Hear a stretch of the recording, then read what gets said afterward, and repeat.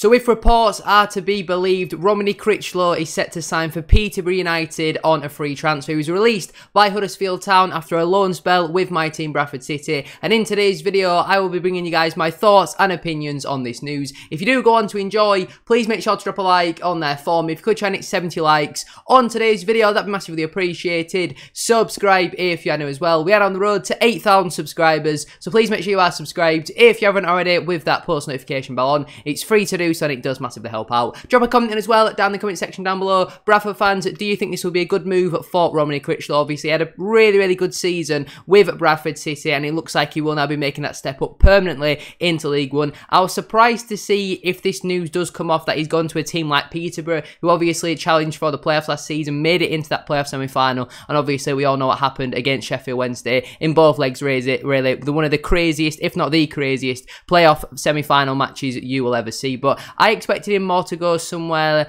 like a Port Vale or a Leyton Orient, somewhere like that, somewhere where they were going to be around mid-table, maybe slightly in that lower half. I didn't think he'd go to a team who were probably going to want to challenge for automatic promotion the next season. Now, obviously, Darren Ferguson has recently been given a new, I think it was a three-year contract as well with the football club. It's like his third or fourth stint with the club, and he's back there again for another three years, and Crichlow will now be potentially a part of that. Obviously, nothing is officially confirmed, but I don't normally do transfer videos about players who have left when they're not officially at our play. But I thought in today's video, we'll just give you guys my thoughts and opinions on this news. So make sure to drop a like on there for me, subscribe if you're new as well, and let's get into it. So the news actually broke at 8.45 this morning where Football Insider 247, who are a fairly reliable source on Twitter, tweeted saying FI sources, Peterborough United are in talks to sign Romoney Crichlow on a free transfer when he officially leaves Huddersfield Town. The 24-year-old is out of contract this summer and spent last season on loan at Bradford City. Now, if you actually click on the link and go to their exclusive archives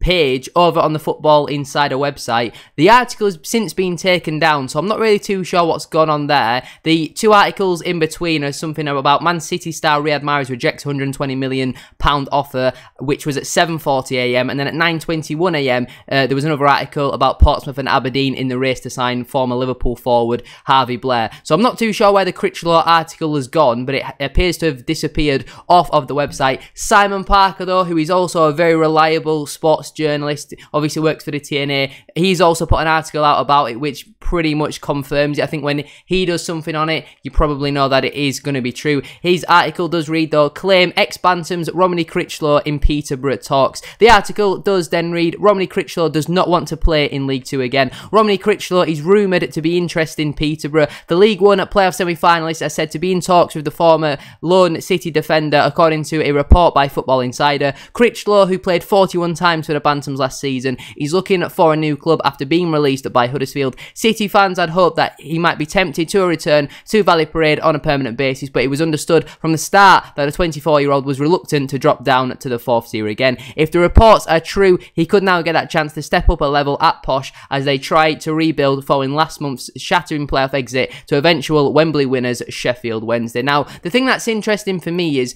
obviously Crichlow is a very good player and, you know, English, young, left-sided centre half, so it was always going to be very hard to try and tie him down. But has he been that good this season that he deserves to be playing week in, week out potentially in League One. I'm not sure. Obviously, he had his injury problems and he couldn't get back into the side over Stubbs and Platt. The only time he came back in was when Matty Platt got sent off away at Crawley. And he played the final few games of the season. But the thing for me is, personally, as good as Crichlow is on the ball, I think Platt and Stubbs are both better defenders. And I know necessarily Platt and Stubbs aren't as good at playing out from the back, which is obviously Mike Hughes' style of playing. Crichlow, by far and away, is much better than that and does give you that balance on the left side. I think if Platt and Stubbs are going to play, then obviously you will play Stubbs on that left side. We're not even mentioning Ciarán Kelly as well, who we signed in January from Bohemians as well. I think we paid, do we pay an undisclosed fee for him or was it an uh, um, a free transfer? I'm not really too sure. It might have been a compensation package. I don't really know off the top of my head. He's got another two years to run with his contract with the football club and he looks like that potential Romoney Crichlow replacement. It looked like we got that business done early.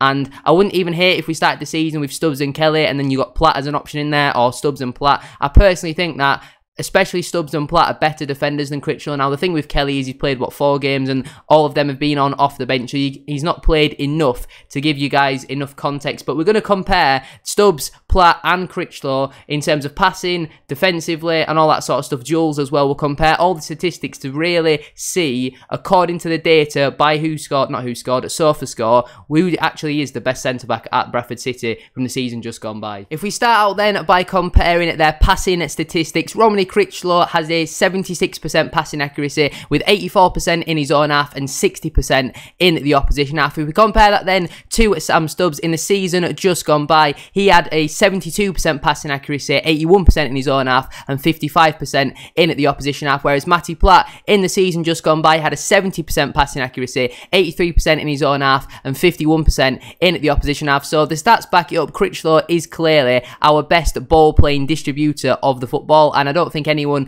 can really disagree with that. You know, his composure on the ball, his calmness, is absolutely brilliant, and you've got to give him credit for that because he is very good at it. Yes, he has been prone to a mistake this season, which did lead to a goal, unfortunately. It was in that game at home to Gillingham. I don't think either Stubbs or Platt have had an error leading to a goal. I think obviously Stubbs was kind of at fault for that second goal in the second leg at Carlisle. He obviously gave away a stupid corner, but that wasn't directly his fault. You know, we should have dealt with that corner much better. And then Matty Platt, I don't think gave away a penalty. Not a penalty. I don't think gave away a goal this season. I might be wrong. You have to let me know down in the comment section down below, but I'm pretty sure they didn't. In terms of their defensive stats, then clean sheets is a bit of a hard one because obviously they all played a different amount of games. Romoney Crichlow kept nine clean sheets in at 29 starts Sam Stubbs kept uh, 8 clean sheets in 19 starts, and Matty Platt kept 15 clean sheets in 38 starts. So they're pretty similar for the amount of games that were played. Romoney Crichlow defensively kept um, average 1.2 interceptions per game,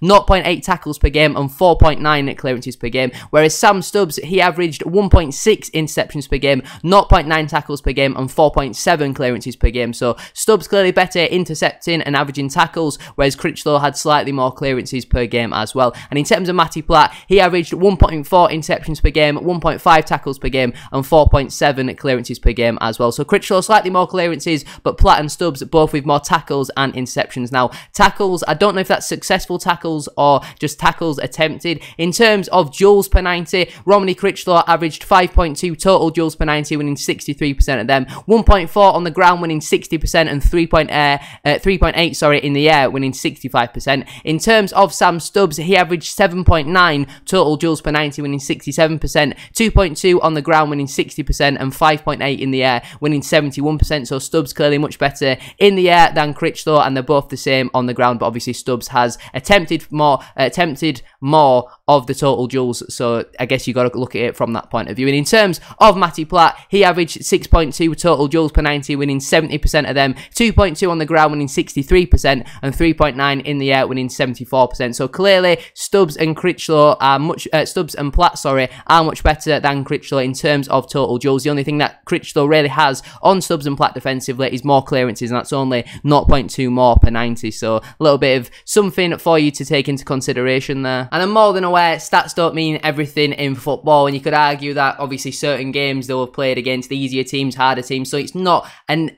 accurate 100% representation of who is actually the better defender. But I think if you have the eye test, yes, Crichlow's got the pace on Platt and especially Sam Stubbs, but defensively in League Two, you need to be solid, and I don't think Crichlow is a solid. I actually think Crichlow would be much better as a holding midfielder. If you were to play a 4-2-4 next season and have Smallwood and Crichlow as your two sitters in front of Platt and Stubbs as your centre backs, and obviously whoever your uh, full backs are going to be, and then just play with four attackers and go for it, I think that would have worked really well, in my opinion. But obviously, Crichlow looks very likely that he's going to go to League One, and I wish him all the best. I do hope that he smashes it because He's given his everything for Bradford City whilst being on loan from one of our arch rivals. He's given absolutely everything. I've got to give him so much credit for that. Unfortunately, we couldn't quite get the job done, but ultimately, he was part of a defence that ultimately conceded a lot of late goals, conceded some sloppy goals at times as well. And while for the majority of the campaign, especially that first half, he was exceptional, I do think Crichlow is replaceable, to be honest with you. And we all know the track record that Peterborough United have got of developing young players and selling them on for a profit. I think we all know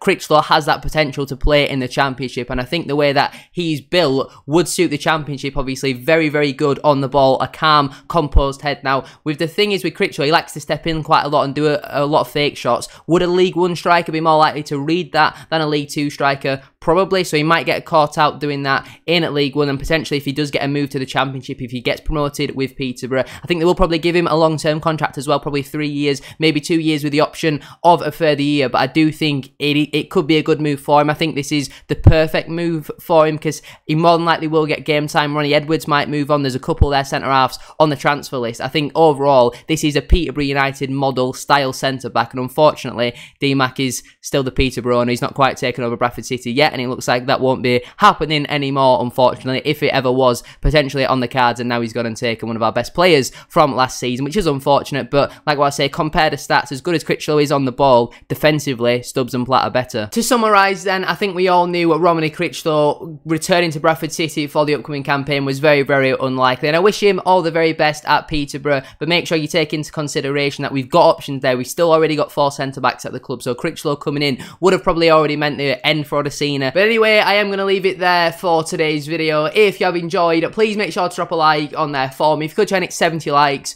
on today's video, that'd be massively appreciated. Subscribe if you are new as well. We are on the road to 8,000 subscribers, so please make sure you are subscribed if you haven't already with that post notification bell on. It's free to do so and it does massively help out. Drop a comment in as well down in the comment section down below. Let me know, Peterborough fans, are you excited about this potential signing? And Bradford fans, do you think this is a good move for Crichlow? Obviously, nothing is officially confirmed as of right now, but it looks very, very likely. Thank you very much for watching today's video. Have a good rest of your day, and I'll see you all very soon for the potential Johnny Williams signing video.